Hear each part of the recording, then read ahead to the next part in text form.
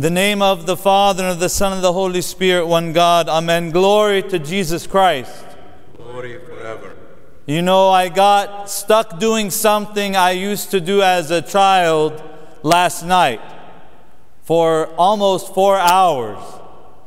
The Ten Commandments was on, and my children had never seen it. They've studied it from the Bible, but they'd never seen it with Charlton Heston and Yul Brynner, and we watched it.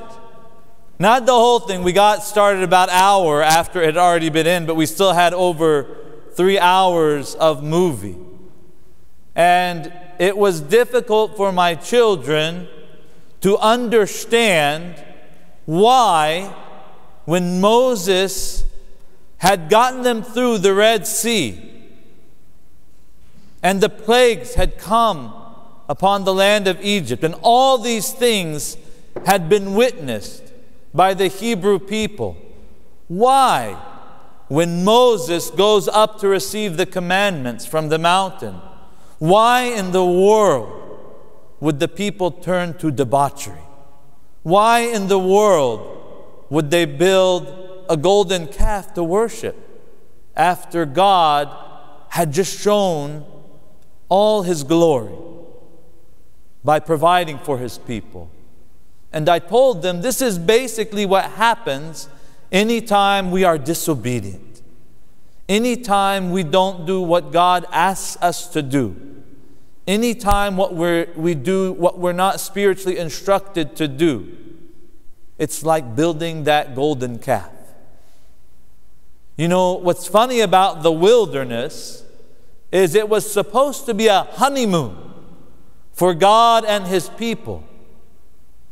When we are distracted with the cares of the world, when we're distracted with all the busyness that's going on, sometimes we don't see our God. Sometimes we don't see our loved one the way we're supposed to. So God took His people to the wilderness. And it was supposed to be a honeymoon of God, the beloved husband, and his bride, Israel, the people of God. They had no other distractions. But what did they do? They made distractions for themselves. You know, my brothers and sisters in Christ, the time we've been given now to be coddled up inside of our homes we can either use this time as a beautiful honeymoon with God and our families, or we can use it as a time to devise ways to go against His plan for us. Many people think that the struggles that are in our life are bad. We don't ask for struggles from God. We don't besiege sickness from God. But whatever we receive, whatever hand we're dealt, we have to receive it with thankfulness and give it back to God. This time we have of seclusion may seem like a time of war. We're scared. But we should see it as a time to prepare. Not to prepare for what we're going to do when everything's done, to prepare, but to prepare for that eternal kingdom. St. Nikolai, who is a 20th century saint, has a wonderful, wonderful quote that I'd like to share with you all today. He says, Just as people do not enter a war in order to enjoy war, but in order to be saved from war. So we do not enter this world in order to enjoy this world, but in order to be saved from it. People go to war for the sake of something greater than the war.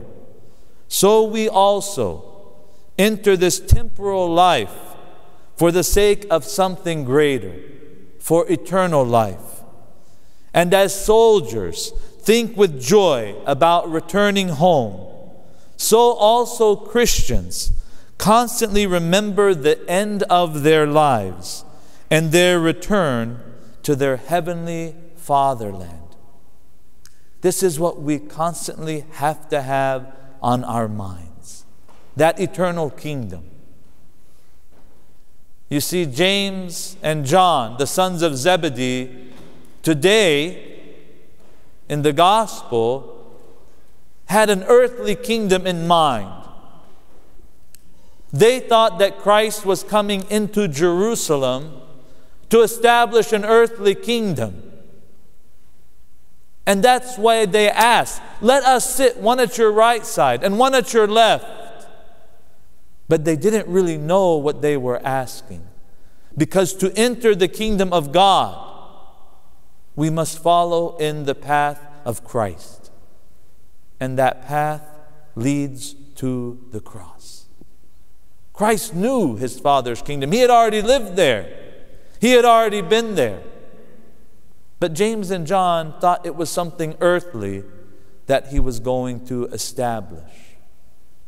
And that's why we, my brothers and sisters, through patience, through obedience, we press on, not always doing what we want to do, but taking up that cross, which is a splinter. Our crosses are splinters compared to the cross that Christ held.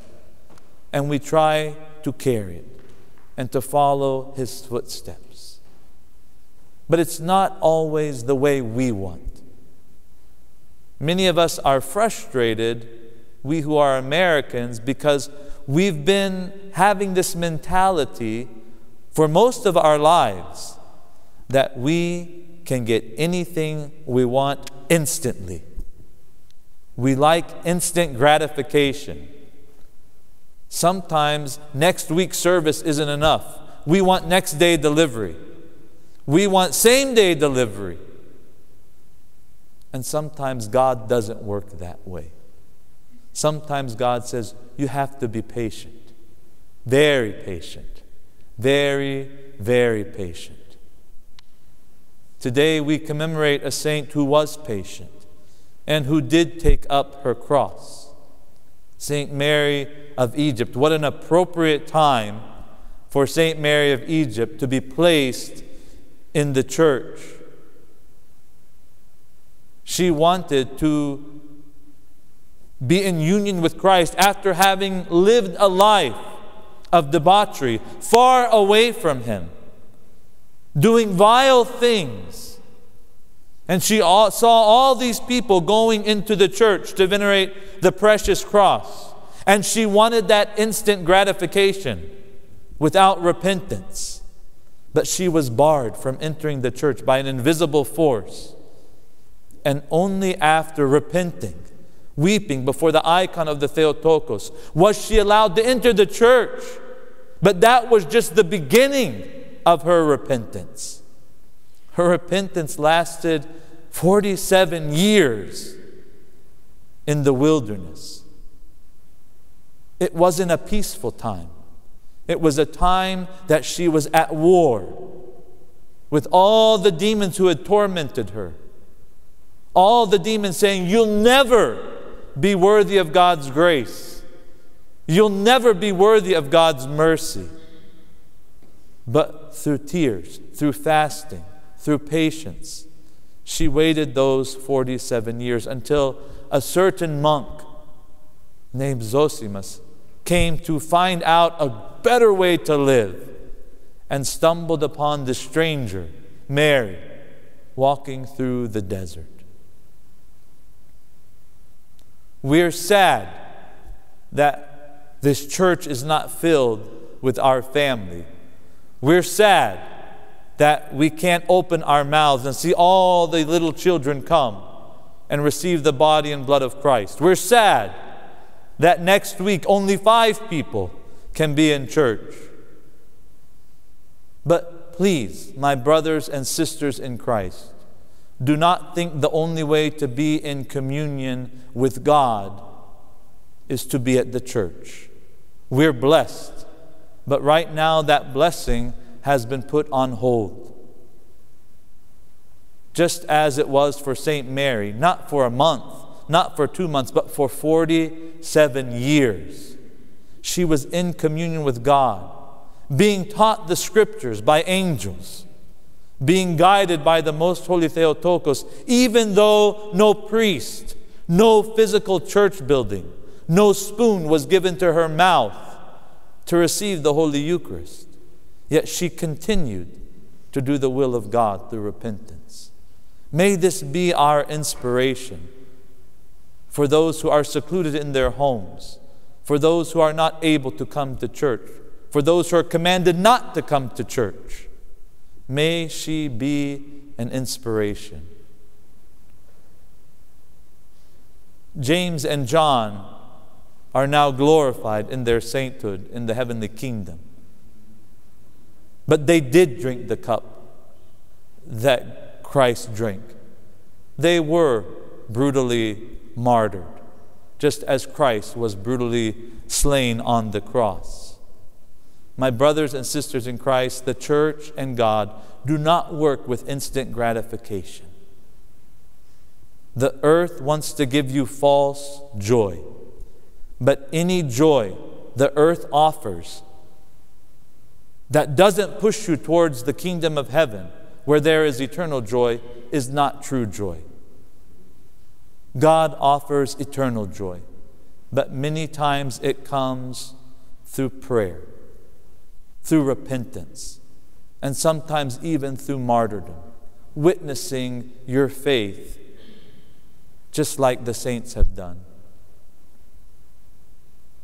We have a time we don't know how long it's going to be, but it probably won't be 47 years.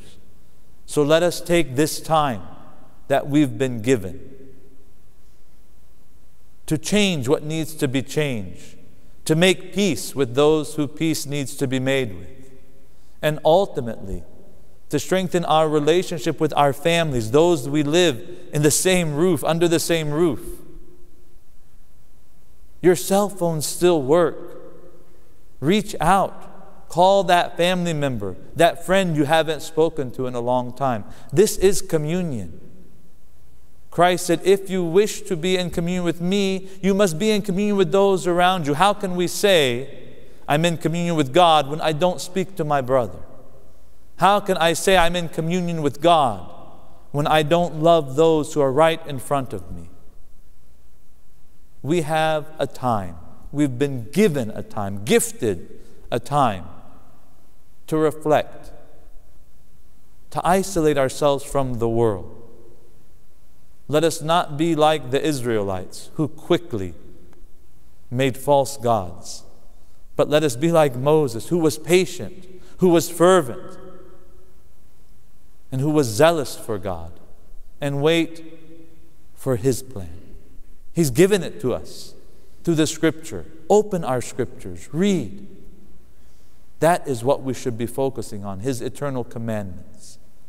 Because God will offer us to drink of that cup, but it's the cup of obedience, being obedient to Him in thought, word, and deed. May our good God, who is merciful and desires us to focus on the joy of His kingdom, to Him be glory forever and ever. Amen.